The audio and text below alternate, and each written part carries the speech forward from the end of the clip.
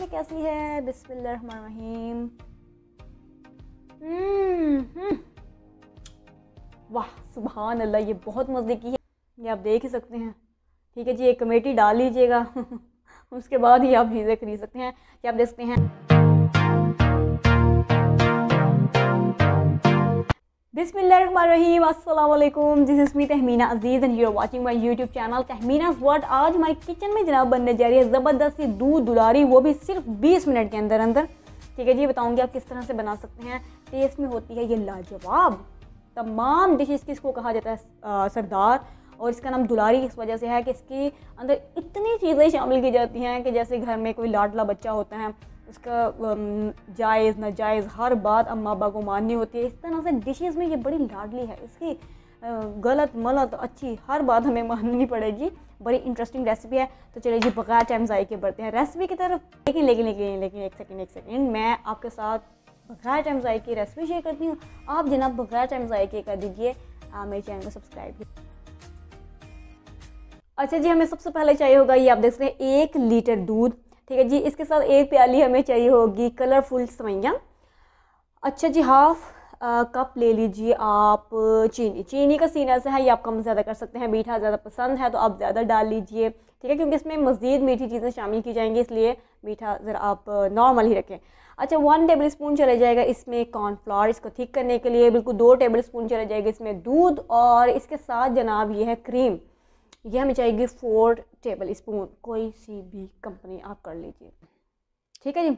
तो बाकी जो मज़ीद चीज़ें हैं, वो आगे चल के आपके साथ शेयर करूँगी। अब जनाब, सबसे पहले मैं ले लेती हूँ एक कढ़ाई मीडियम फ्लेम ऑन कर लेते हैं। ठीक है जी? अब इसमें दूध शामिल कर दीजिए। बिस्मिल्लाहिर्रहमानिर्रहीम। अच्छा जी, दूध शामिल हो चुका है। अब इसको एक उबाल आने का हम लोग कर लेते हैं इंतज़ार। जी, दूध को आ चुका है उबाल। अब इसमें शामिल करने जा रही हैं चीनी। बिस्मिल्लाहिर्रहमानिर्रहीम। और इसको आप हिला लीजिए। ठीक है जी? चीनी जो है, ये बड़ी अच्छे तरीके से मिक्स हो चुकी है। अब इसमें शामिल कर देते हैं सवैयाँ। बिस्मिल्लाहिर्रहमानिर्रहीम। ठीक है जी? इसको भी आप कर लीजिए अच्छी तरह से मिक्स। और अब इसे लो फ्लेम में सात से आठ मिनट तक पकाएँ, ठीक है जी? गाहे बगाहे आपने चमचा चलाते रहना है ताकि सवैयाँ जो हैं ये गल जाएँ और आपस में जुड़ें भी नहीं।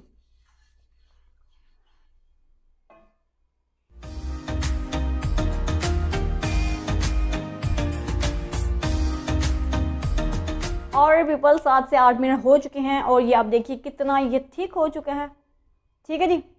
ये आप देख ही सकते हैं, माशाल्लाह से सवियाँ भी हैं, ये आलमोस्ट गल चुकी हैं। अब ऐसा करते हैं, ये जो कॉर्न फ्लावर है, इसको बिस्मिल्लाह थोड़ा सा दूध शामिल करिए।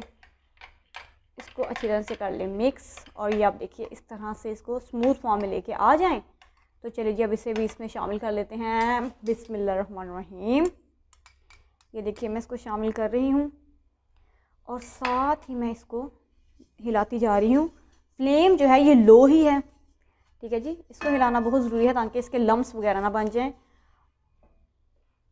अब इसको लो फ्लेम में तकरीबन दो मिनट मज़ीद पकने दें। अच्छा जी, दो मिनट हो चुके हैं। अब इसमें मैं शामिल करने जा रही हूँ। जनाब, यह क्रीम, बिस्मिल्लाहिर्रहमानिर्रहीम। इसको शामिल करिए और इसको दोबारा से मिक्स कर लीजिए। ठीक है जी? अब इसे आप लो फ्लेम में तकरीबन दो से तीन मिनट मज़ीद पका लें ताकि जो क्रीम है और ये बाकी सारी चीज़ें हैं मज़ीद अच्छी तरह से पक जाएँ। So people just look at this ये कितनी ज़बर तरीके से, ज़बरदस्त ज़बरदस्त तरीके से पक चुका है। ये देखिए थिक भी हो गया है और ज़बरदस्त लग रहा है देखने में ही। फ्लेम जनाब मैंने कर दिया बंद। अब इसे थोड़ी देर के लिए ठंडा होने के लिए छोड़ देते हैं। तो पीपल इसके लिए जो मज़ीद चीज़ें चाहिए, ये आप देख ही सकते हैं। ठीक है जी, एक कमेटी डाल लीजिएगा। उसके बाद ही आप चीज़ें खरीद सकते हैं। कि आप देख सकते हैं, इसमें चमचम है मतलब मिक्स मिठाई है, गुलाब जामुन, रसगुल्ले, चमचम, ठीक है, जो आपको पसंद है वो आप शामिल कर सकते हैं। ये हैं जनाब खुश्क मेवाजात हैं, जितनी आपकी जेब में हैं, पैसे बस उतने ले लीजिए।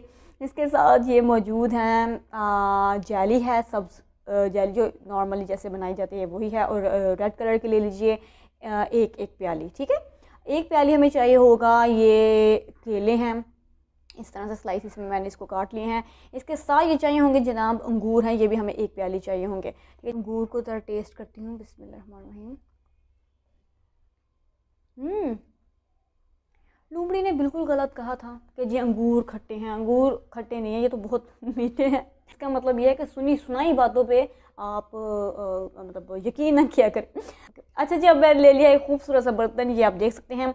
और इसमें माशाल्लाह से जो तैयार किया था हमारा कस्टर्ड टाइप कुछ चीज़ सवैयाँ टाइप कुछ चीज़ वो मैं शामिल कर देती हूँ। बिस्मिल्लाहिर्रहमानिर्रहीम। अब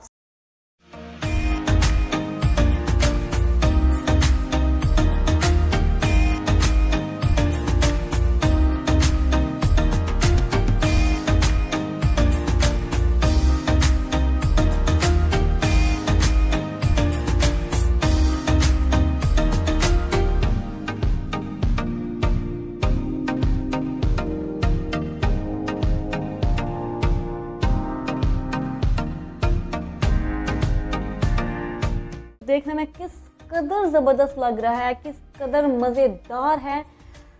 आ, कि मैं आपको बता ही नहीं सकती ठीक है जी? ये कोई बड़ा स्पेशल गेस्ट आए तो आप उसके आगे सर्व करें बस हर किसी के आगे मत रखेंगे मेरी तरफ़ से एक मशवरा है।